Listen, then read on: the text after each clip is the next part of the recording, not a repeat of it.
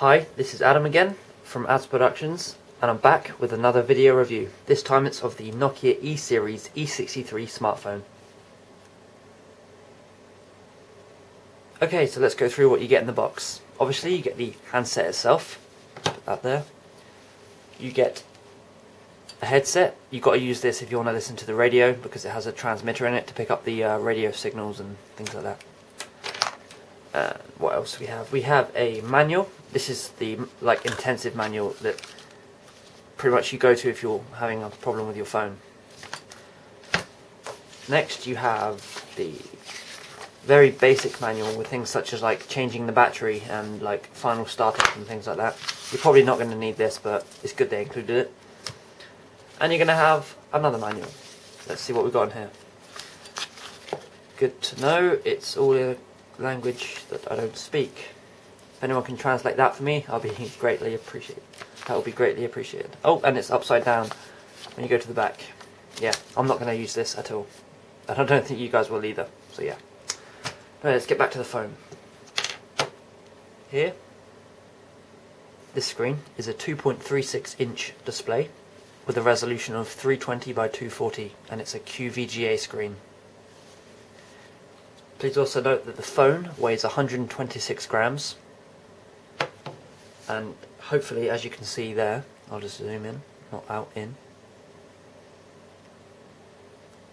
features a full QWERTY keyboard. As you can see here, let me just see if I can zoom in just a bit more. You have 1, 2, 3, 4, 5, 6, 7, 8, 9, 0, hash, and star. To enable these numbers when not dialing a number, you must press the like the function button and then a number. So, but when you're just dialing a number normally, you can literally just press the M key and it will be 0, press the N key and it will be 9, etc, etc. Let's go up a bit. Here we can see we have a select button for the something that will be on the screen to the left, and the same over here for the right. Here we have a hang up or, or power switch, and to the left we have a call button. Here is the home key, here is the calendar key, here is the directional pad, here is the phone book key, and here is the messages key. On the back of the phone, what we have here is a mirror for taking pictures of yourself, we have a flash, and we have the 2 megapixel camera. On the bottom of the phone, at the back, is this little switch. If you want to take the back of the phone off, push the switch off,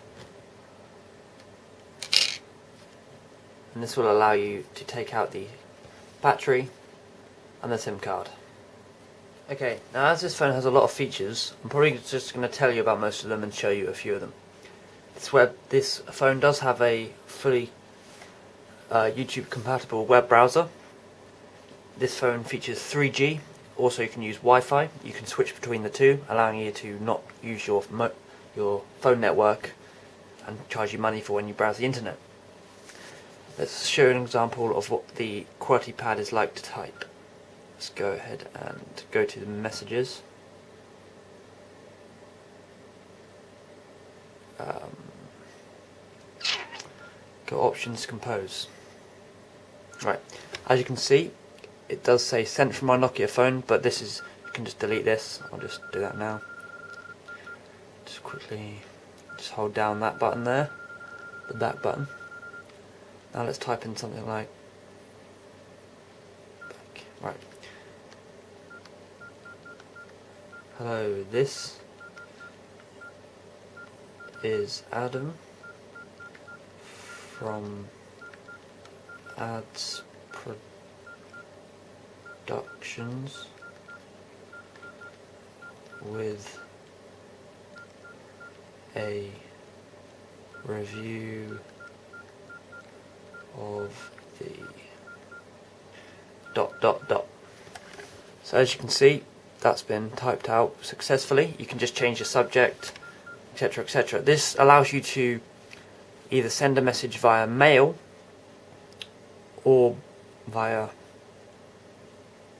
mail is in the internet and mail as in the phone, like SMS kind of thing.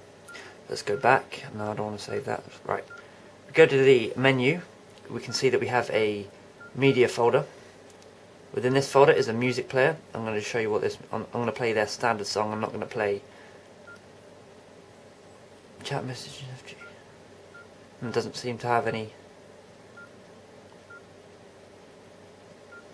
I'm going to play a podcast for you and show you what that's like in the music player. This is This Week in Tech with Leo Laporte. You probably know who he is. Right, this is what the, mu uh, the music player looks like. And this is you. You love. From people you trust. This is TWiT.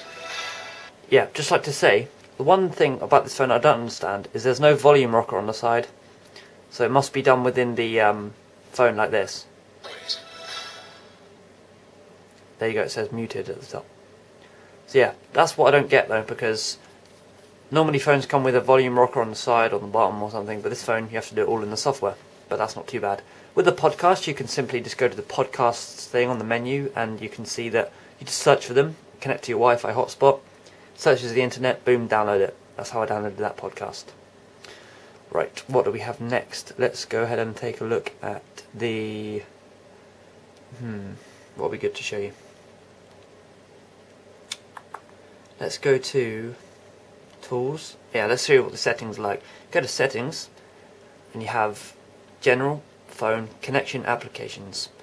In general, you have personal. Yeah, basically, you can restore the phone to factory settings. In phone, you can do things like turn off the network to stop incoming messages, etc., etc. You can call divert. In connection, you can manage your access points, the Bluetooth, USB, and the wireless LAN. Applications, you can just pretty much manage the applications. I'm going to show you one final thing. Right, on memory, this is good because it shows you how, like, because I've got a memory card in, it shows you all the details of that memory card instead of having to go into deep, like, settings and things like that. This is just like two clicks and, and you're there. I mean, it's not, it's just simple text, just tells you how much space you've got left. It's brilliant. Um, what else? Yeah, okay, let's go over the positives and negatives of the phone. The first, I'm going to do the negatives first. The first negative is the fact that it doesn't have a volume rocker. Which is slightly confusing, but okay. The only other negative I can find, which isn't really too bad, but yeah, are these numbers here. These numbers get quite fiddly. Like, I'll show you. When you, right. Okay, when you're um, dialing a number, all you have to do is press the key with the number on. So like one, two, three, four, five, six. Not hash, six. There we go. But if you were going to type it as like a message, let's do that now. Let's open up the messages. And let's compose a message. Give me one second. Compose. Okay. And if you want to do, say, like a number in a text message, then what you have to do is once I've deleted this, you don't have to delete this, you can keep it sent from my Nokia, but just gets in the way. Right. Once you, if you want to do numbers in normal texting, you must press this like function key here. So you go function R, which gives you the 1, because you can see the 1 is above the R.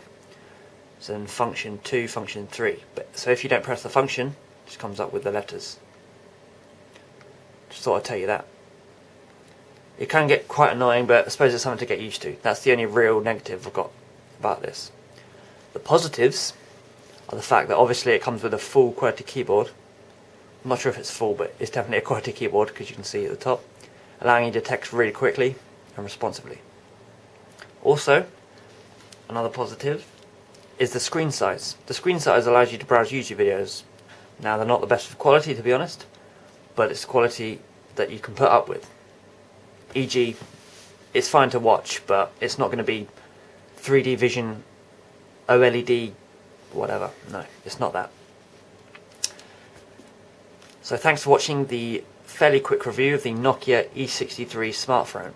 Smartphone, that is. Thanks for watching, Adz Productions.